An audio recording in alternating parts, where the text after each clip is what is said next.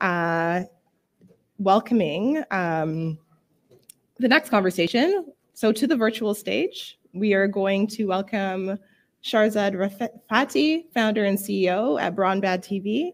And we're going to welcome Amber Mac, keynote speaker, best-selling author, TV host, and tech expert. We are going to be talking about the journey from start to IPO, which is one heck of a journey. And you are both here. So, welcome, welcome you both. I'm excited for this conversation. I also just want to uh, let the audience know that we will be taking questions at around 11:20. So, if you have any questions uh, for Shahrzad or Amber, to please put them in the chat feature. Off to you both. All right. Thank you so much. Um, thanks to all of our attendees. I've been in the chat, uh, chatting things up. I know there are people watching from Hamilton, from Guelph, uh, from Toronto, uh, all across the country. And we are so excited for this fireside chat. As was just mentioned, you can put your questions into the chat. I'll also keep an eye on the Q&A uh, feature within Hopin, and um, we will try to get to as many questions as possible. We are going to wrap up in about 35 minutes.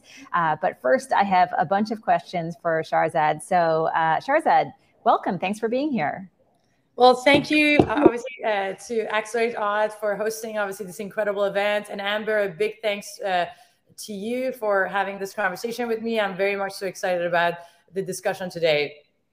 Well, thanks for being here. You know, one of the things I love about these virtual events is that uh, people are often in their own homes or offices and they're more comfortable in these conversations. So, my first question for you, just to kind of set the tone, where are you right now?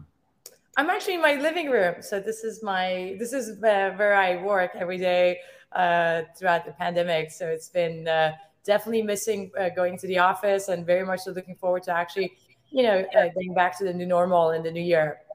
I think we are all in uh, in that line of thinking as well in terms of getting back to uh, normal. So we have a lot to talk about in terms of how you've grown this incredible business. I have so many questions, but one of the questions I wanted to start with, because so often we get excited when we have entrepreneurs like you and access to asking you what's happening right now, is we forget that so much of what you've done has been built on, you know, your childhood, your personal experiences. So the first question I have to you really is about uh, your childhood and a little bit about your personal journey. Can you walk us through what your childhood was like leading up to starting this business?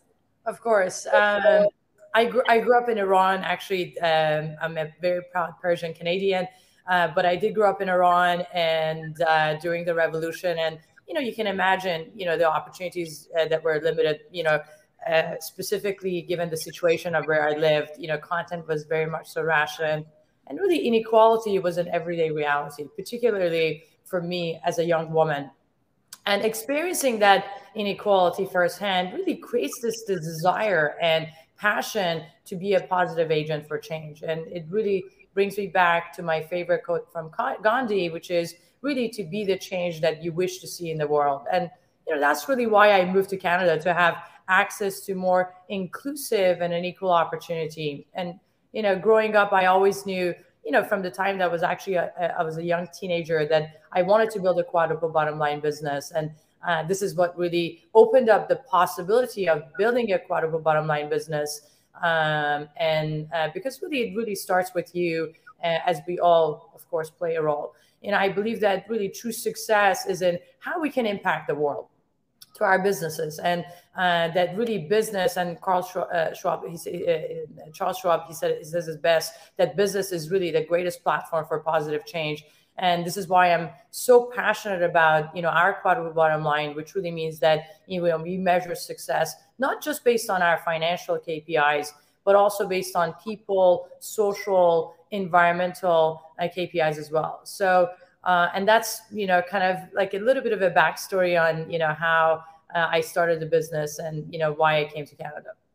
So let's talk a little bit further about that phrase quadruple bottom line. I think it's one that some people may know. I'm curious in the chat. Uh, let us know if you've heard of that phrase before, um, but some people may not. And you touched on it a little bit, uh, but perhaps you can expand on this because I think it would be uh, an assumption that most most businesses should follow this, but th- they really don't.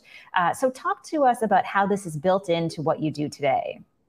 Of course, you know, uh, when we talk about quadruple bottom line, it's just it really means that you want to pay attention to all your bottom lines. And what does that mean? It means that building a quadruple bottom line, it means it comes down to setting goals, measuring them, and reporting on all the bottom lines. So, you know, you need to make sure that you have, you know, the right processes, pipelines, incentives, and really systems in place to make sure that, you know, those goals become a reality. So it really it all comes down to creating both short-term and long-term plans for your KPIs. You know, a lot of times we see companies setting, you know, five-year goals for their people targets. Oh, yes, we want to inc- increase female managers, the number of female managers by 25% by in five years' time. It's very important to have both long and short-term goals.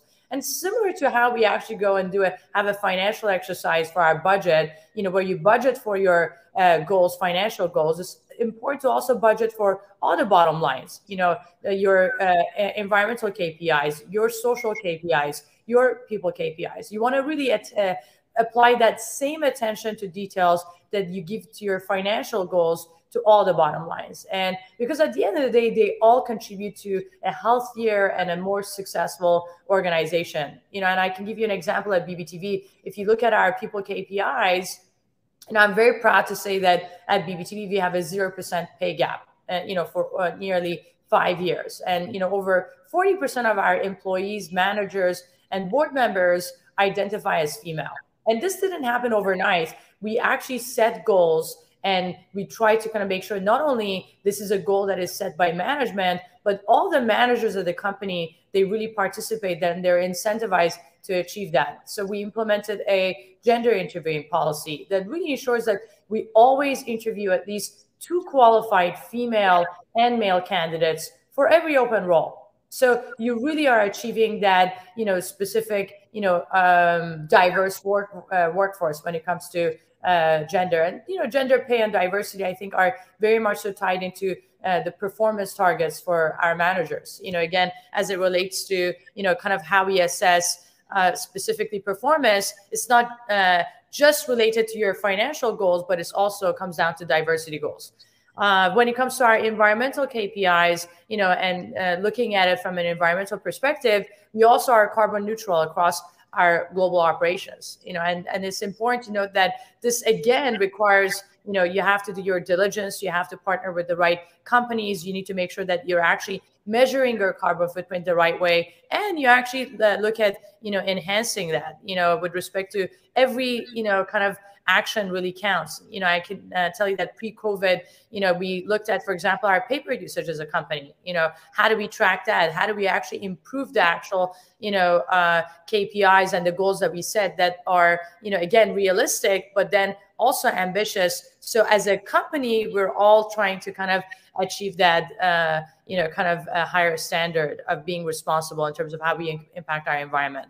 Um, so really, just like any business pillar, building a quadruple bottom line business really requires the willingness and desire to be accountable to progress. So we try, uh, we really look at treating all of our quadruple bottom line KPIs with the same level of accountability, where you know we're looking at our revenue results, gender pay, our carbon footprint, and also our community hours in terms of how we make an impact in both the local and the global community.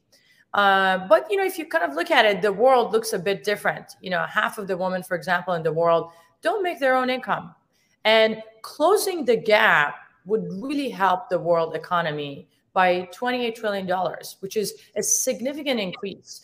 Uh, and if you look at the pandemic uh, with COVID, you know we've also have taken a few steps back because, as we know, women lost more jobs because of the actual sectors that uh, were more impacted uh, by the pandemic. Um, so building a quadruple bottom line business is really is lead uh, you know can, can can really lead into both a more ethical business, but even a higher performing organization. And I'm sure you know you've uh, I'm sure the audience has read many research. I mean you know uh, you kind of look at the McKinsey report and many other research that show that you know women are well that if if actually women are well represented at the top of the organization, companies are actually up to 48% more likely to outperform in uh, you know when it comes to uh, the overall peer set. And uh, we've also, uh, you know, seen the same thing across our organization when it comes to our team's performance. So thinking about your ESG goals is really important in today's business landscape, and it's really becoming increasingly uh, important to you know the whole ecosystem, all the constituents uh, and the players, from uh, your employees to vendors uh, to your suppliers uh, to your consumers. And this is definitely a trend that is going to continue um, uh, as, as we look at you know the next five to ten years because the consumers are really driving that. They want to be working with companies that are more responsible.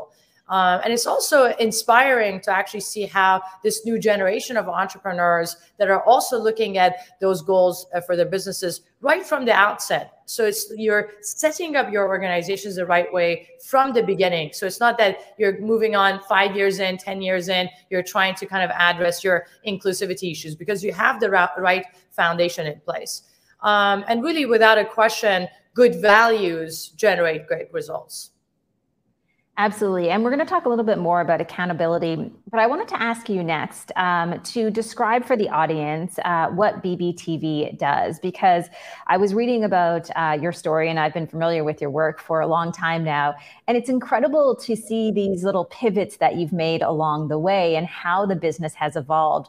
So, for people who aren't familiar with what you do, what is BBTV all about? Sure. You know, we're a media tech company and we really exist to advance the world by helping content creators succeed. And when we talk about content creators, we're talking about anyone that creates uh, mainly video content.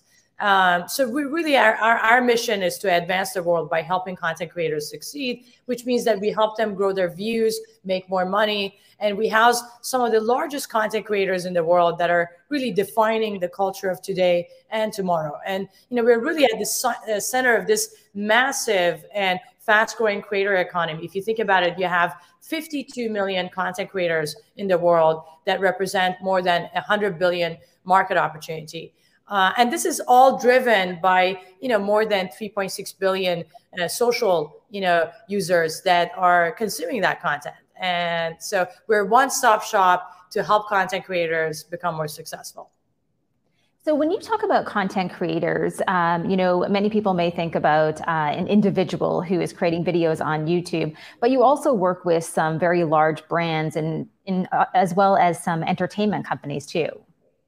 Yeah, we certainly do. I mean, look, we work with thousands of content owners and creators, and that goes from independent content creators, uh, you know, like Fernanfloo. You know, he's one of my favorite content creators. We started working with him when he was 18 out of El Salvador, um, and now he's one of the largest uh, international content creators uh, globally. Um, uh, or you know, you kind of look at uh, content creators like you know the NBA or Sony Pictures or Viacom, because at the end of the day, digital really leveled the playing field. So it doesn't matter if you're a large media company or if you're an independent content creator, you're able to broadcast yourself, you're able to engage with audiences, connect with them, and really build a business around you know your IP. And this is exactly what we solve for. You know, whether if you're an NBA, Sony Pictures, Ferdinand Flu, you know, or uh, Chris Booth, you know, we work with you to, to able to be able to help you succeed, become more successful in extending your IP, getting you in front of the right audiences, grow that audience, and really uh, monetize that audience effectively. So let's talk a little bit uh, about something you mentioned a few minutes ago, which is accountability. And um, I think we've seen uh, more importance put on this over the past couple of years. When we talk about leadership and accountability, can you describe how they are part of your everyday running this incredibly successful business? Yeah, it's, it's, it's a really good question. I actually, I, I got to say, we don't talk about it enough because I think we need to, you know, really take a moment and look at where we find ourselves today. You know, we had the largest global pandemic in over 100 years, and you know, the world is coming out of a lockdown after whole industries have slowed or pivoted or even cease to exist, right? As we know. And this was closely followed by, I think, one of the most important human rights movements we've uh, uh, we've seen in the generations, uh, which is Black Lives Matter. So, with all that has happened over the last year and a half, you know, uh, there has been really realization as to the importance of leadership. And really, at the core of it, you know, we've definitely seen vividly contrasting leadership styles, you know, by business owners, by world leaders um, that have really demonstrated uh, dramatically different results, you know, in terms of how we've managed through the pandemic, you know, comforting the public, uh, of course, through loss and upheaval. And, you know, we've become very much so painfully aware of an absence of leadership when it has occurred, you know, and uh, we've seen also strong and unlikely leaders that have also emerged. And, you know, empathy is really at one thing that uh, the best leaders have in common. And I think it's very important for us to really talk about that more because leaders absolutely need to be empathetic in today's very much so diverse world. And I believe that empathy is key to inclusivity because we need to be able to listen and to do our best to really understand really the variety of perspectives that uh, we represent and impact to our businesses and uh, you know if you look at great leadership really great leadership is at the heart of positive change in the world and uh, you know from accountability to equality to justice i mean and uh, really the solution i think to today's world's problems still lies in great leadership. And I really believe that empathy is at the core of that. It's interesting too. I was reading an article in Forbes, and uh, they talked about the pandemic in these terms. They said that uh, the pandemic has been all about sickness, but for leaders, the future will be about a, a sense of wellness, especially for their teams. All of a sudden, during COVID 19, you've had to bear this responsibility of making sure that your team is safe. You know, you mentioned that you're in your living room right now doing this event from there. So, can you talk about that added responsibility uh, from a leader's point of view and what you've learned as far as lessons along the way? Yeah, it's it's really important, right? I think that you know the pandemic has, uh, you know, I think a lot of times there are discussions. Has it, you know, impacted the the company's culture? Is it better for the company? Is it worse for the company? And we hear it from different industries. The perspective is different. And I would tell you that, you know, look, for us at BBTV, uh, the number one thing is assuring safety of our employees. You know, and it's really easy to say, hey, let's get back to work and let's do in-person meetings. But at the end of the day, I think, you know, we want to make sure that we have a very healthy organization and that more importantly, people feel safe. You know, and it's not just about our employees, it's about their families, it's about their friends, it's about the people that they actually share a living space with, right?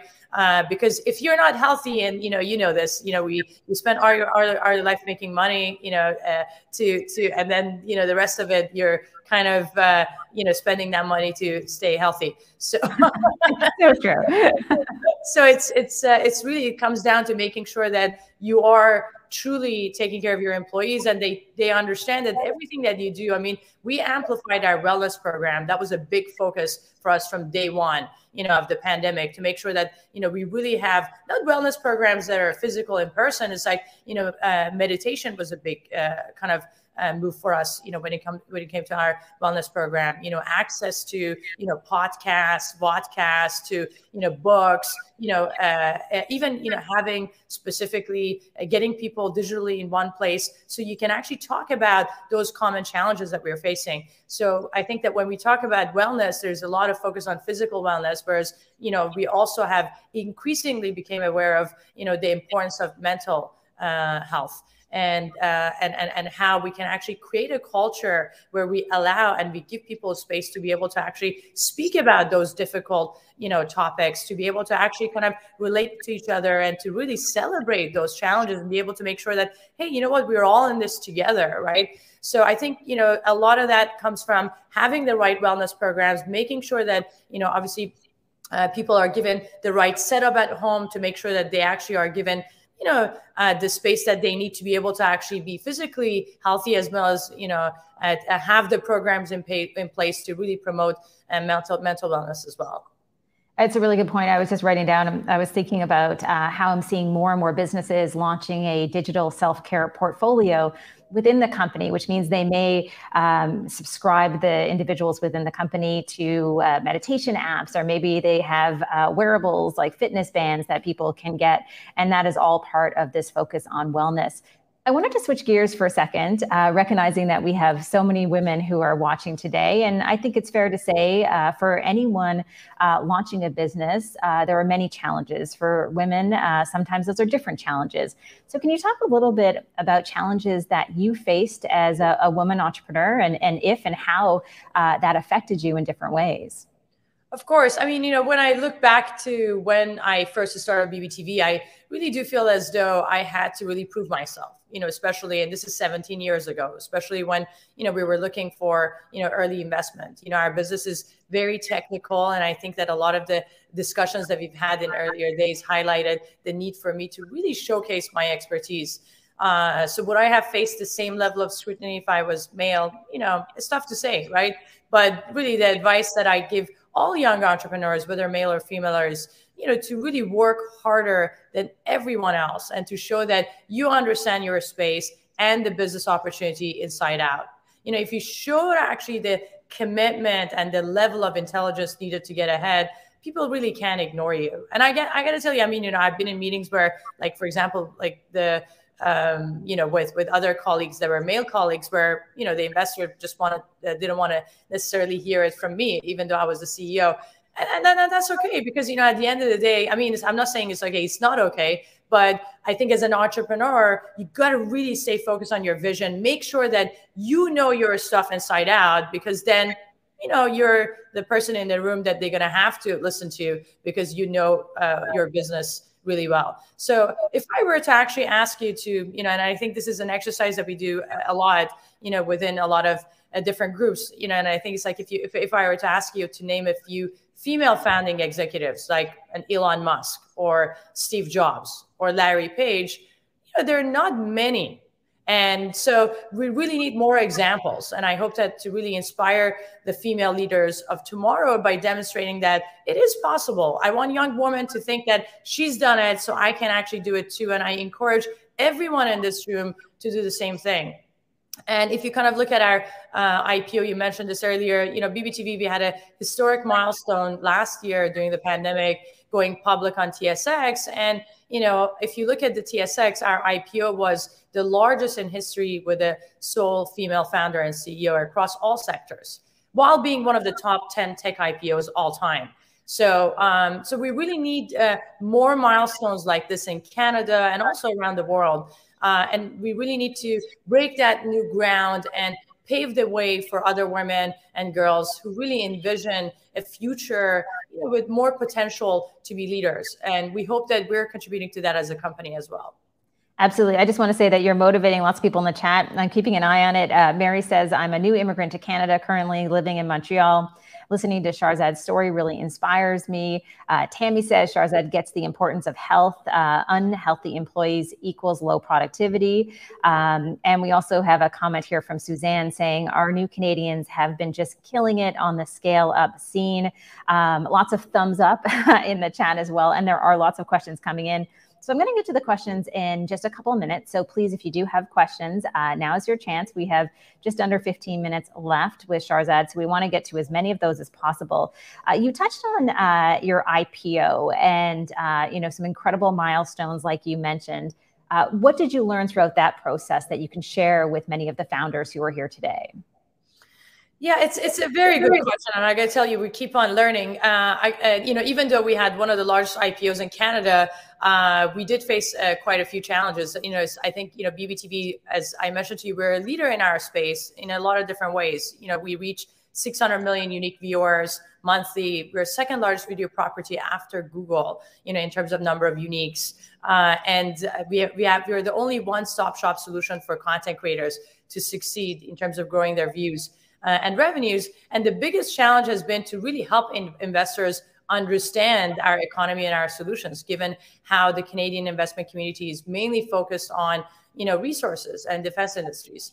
Uh, so really the biggest learning has been in how to navigate those discussions with investors and how to really distill our very progressive business model into something very much more familiar to their portfolio. So, you know, how can you actually go uh, to them and have that aha moment where they truly understand the value and the scale of BBTV and why it's such a smart investment for them? Uh, and I think the other, you know, I think uh, uh, the biggest lesson that I've learned as an entrepreneur and also as a team at BBTV is that, um, you know, I like to highlight that, you know, really a business's value does not equate to its market cap.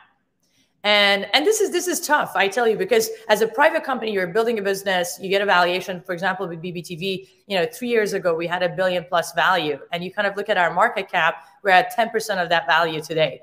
Um, and we're at a 90% discount to our peers in the us market.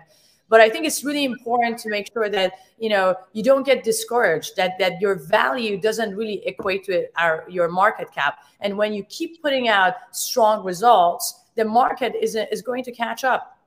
And uh, and we've seen this challenge firsthand at BBTV, and it's something that you know Facebook also experienced, Snapchat experienced, Amazon experienced, a lot of the bigger companies, and we forget about it. So I think as entrepreneurs, you know, if you're looking at, at taking your company public, you know, it's you know, it may not be the smooth ride like as much as you know, kind of you know the stories that are told through movies as far as like the ipo story that you're kind of we all celebrate. So just remember that your company's value does not equate into your market cap and it's so important to stay focused on building a strong business and you know really putting out good results with strong fundamentals because the market and the investors they're going to actually catch up uh, and again, we've learned a lot, I think, since we went public, and we're going to keep on learning. And I think that's really a key trait for being a good entrepreneur.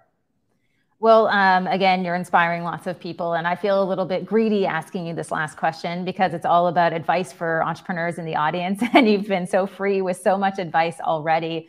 But before we get to some of those audience questions, just some final advice uh, for our audience today? You know, the best advice that you feel you can give people who maybe are feeling everything from imposter syndrome, which was just discussed, um, or maybe they're stressed because of the pandemic, maybe they have a family and, you know, there's just a lot going on, whatever that might be. What's your best uh, advice that you can give people right now about continuing on this path to success?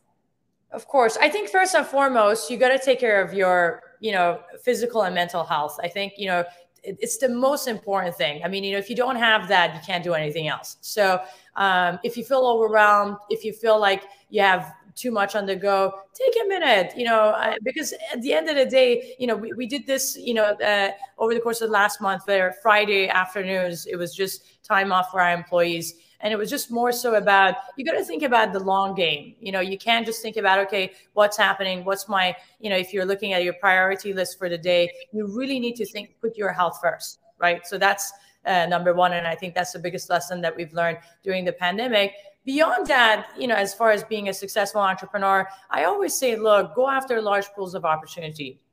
Don't try to solve a small problem if you can actually sol- solve a large problem. Why? Because it requires the same amount of work you know so you might as well solve a larger problem because it has a larger upside it has larger impact. Uh, i think it's also very important steve jobs said it best follow your passion. You know you know this is not you know if you're in it for the money it's just not gonna this is you're, you're gonna you're gonna you're gonna not succeed. You know follow your passion because you won't succeed if you don't have passion for what you do. And honestly life is too short to do anything else um, and at the end of the day, you know, I always say BBTV is a, you know, 17 year old overnight success. You know, it's, it's, you know, 20 hours a day, 17 years in. And, you know, and I'm as excited about it as I was uh, 17 years ago. So it's really, it comes down to hard work and perseverance. It's, it's really, that's absolute given. You know, you, you know, there's no shortcuts.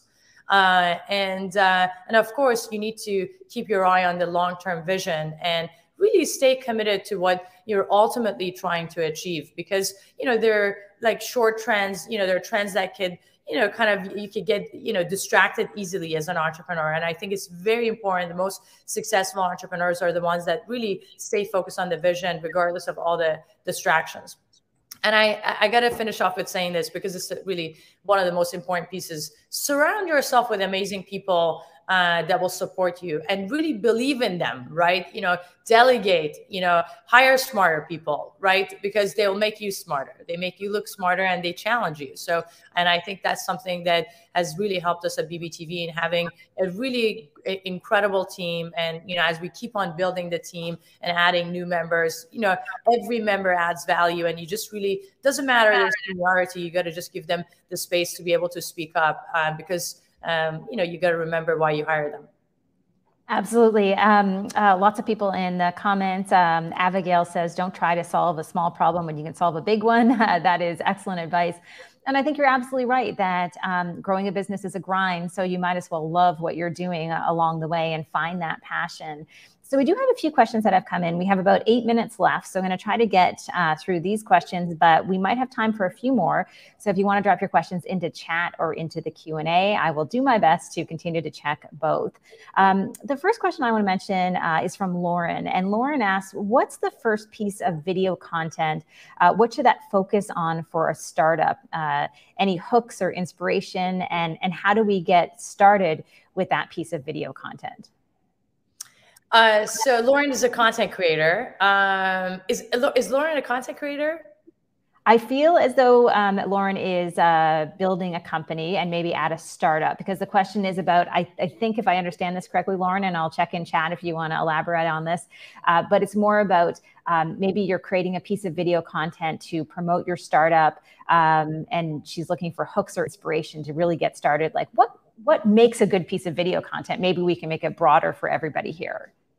Um, I mean, it all comes down to your purpose, right? This is why I'm just saying, you know, is your purpose to be a content creator? Is your purpose to create video content that actually help you with your um, specifically promotion, promoting your business? If, if it's around marketing and promotion, you know the best thing you know and we talk about the power of you know creator economy and the power of influencers content creators right so it's really good to be able to actually find creators that have that alignment with your brand and your purpose and then really work on a very much so organic message that would help amplify you know your brand right? You know it's, it's uh, obviously paid marketing i think it's um, you know it wor- you know it works to the extent that paid marketing works but what we're seeing more and more of is really this natural branded integrations you know especially when you're trying to kind of establish yourself as a new brand as an entrepreneur to be able to do collaborations with specifically content creators that understand your value understand your purpose that have that alignment and you can actually further extend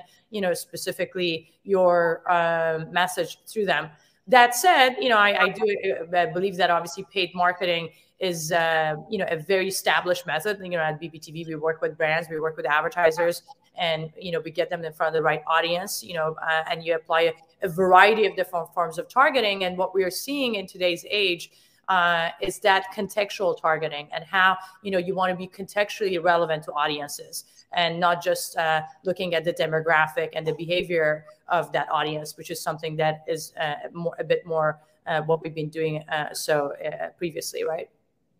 Absolutely. Another question around content, um, and I feel you kind of uh, went into this area a little bit, but this one's from Brian, who's asking uh, about organic versus campaign distribution campaigns. How important is it uh, to campaign across multiple social media platforms or do digital PR, or do you think one can achieve uh, an adequate level of success? Um, so, if I want to paraphrase that question a little bit, um, I would say, you know, is it important that that a business, a startup who's trying to uh, build uh, PR in the world is on all social networks? How can that uh, add to their value and their success in the long run?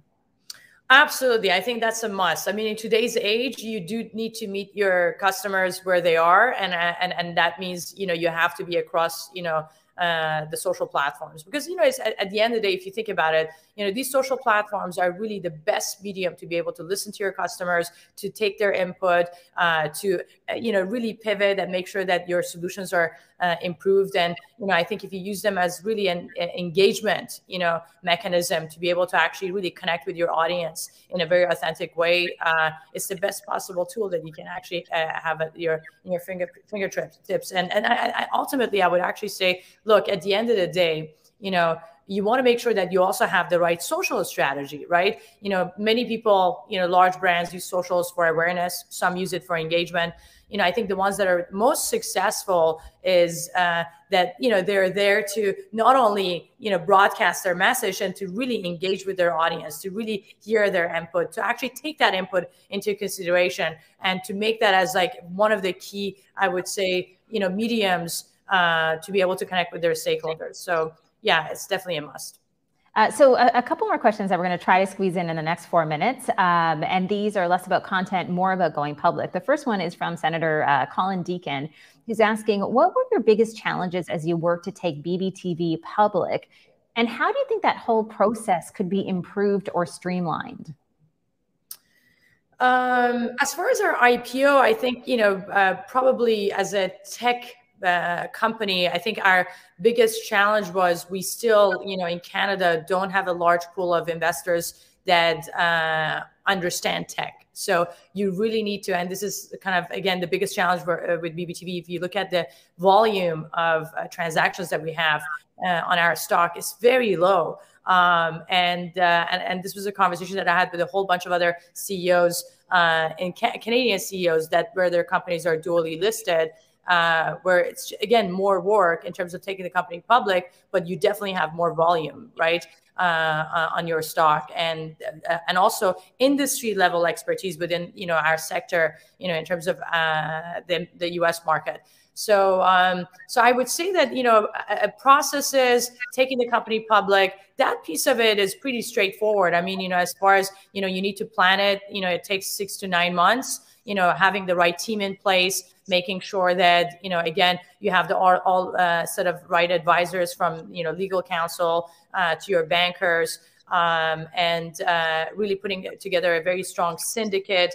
Um, so it is a lot of work, but I don't think that's the bigger challenge here. The bigger challenge for Canada is that we just don't have savvy, you know, we don't have a large pool of investors that understand tech, that embrace tech. We don't have vertical expertise. Uh, and I think uh, it also comes down to retail. I think, you know, we're more conservative as, you know, Canadians altogether. Um, and, um, Whereas with you know the retail, I think investors in the U.S. you know that profile is just a bit different than what we actually see in Canada. So I think it's just about overall education, understanding that you know going public is really a, a great outcome for uh, companies in Canada uh, and uh, and having a much stronger ecosystem.